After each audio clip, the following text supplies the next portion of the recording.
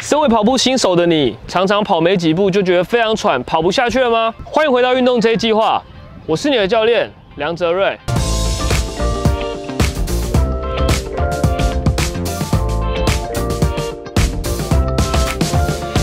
今天要来跟大家分享的呢，是一个算是跑步上的观念问题。常常会有人私讯，甚至在 YouTube 下面留言说，我常常跑没几步就开始觉得非常喘，甚至在这样的训练情况下，我根本觉得我没办法继续进行下去。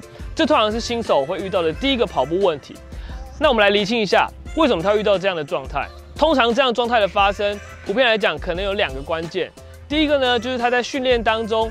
配速完全不了解自己的状态，就开始跑得非常快、非常喘，导致他的身体在很快的期间内就已经没有办法维持在有氧的状态。这个时候的跑步新手，普遍来讲就遇到一个问题，就是跑不动了，因为太喘，他必须停下来。那第二种可能呢，通常是你在跑步当中呼吸上出了问题，常常会有人怀疑在跑步当中呼吸该怎么去做调节。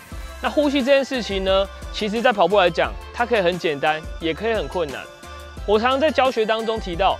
跑步当中的呼吸轻松自然就好。什么叫轻松自然呢？你在跑步的当下，节奏可能是一二一二一二。那这样的情况下，其实你的呼吸跟跑步节奏应该是相对应的，可能是两拍，就是跑两步的时候吸一次，两拍跑两步的时候吐一次。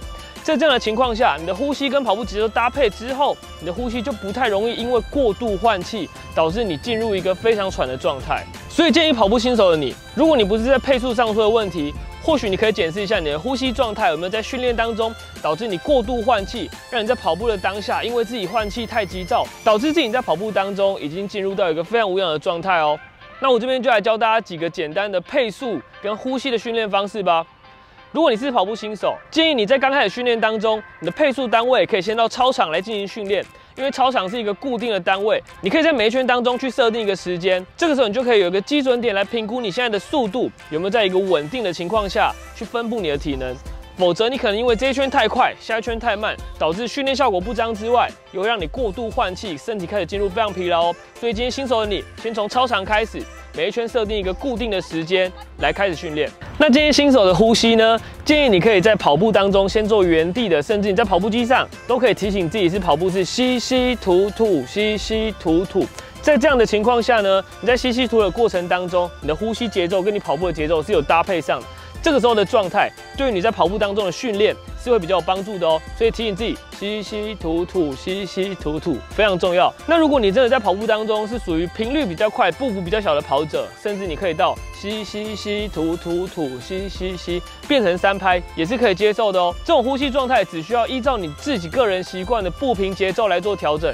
都是可以接受的，他们有一个绝对正确的方式，所以记得你只要跑步当中感觉舒服才是最重要的。那我这边有一个小诀窍，想要分享给跑步新手的你。如果你刚开始训练不知道该怎么呼吸调整放松的话，其实跑步呼吸有放松的时候。你在跑步当中可能是吸吸吐吐，吸吸吐吐，在经过一段时间，可能是一百公尺、两百公尺，你就可以做一次放松的呼吸。什么是放松的呼吸呢？简单来讲，就是打破原本的节奏。原本是吸吸吐吐，吸吸吐吐，放松就是吸吸吐吐，啊啊。做两个大的深呼吸，再回来吸吸吐吐，这个时候的心肺状态就可以恢复到你比较可以接受的状态。这个时候你就可以继续跑得更远哦。以上就是今天简单跟大家分享。如果你身为跑步新手，常跑没几步就觉得喘，可以来检视一下你到底是配速出了状况，还是呼吸出了问题呢？希望这集对你有帮助。我是你的教练梁主任，我们下一集见，拜拜。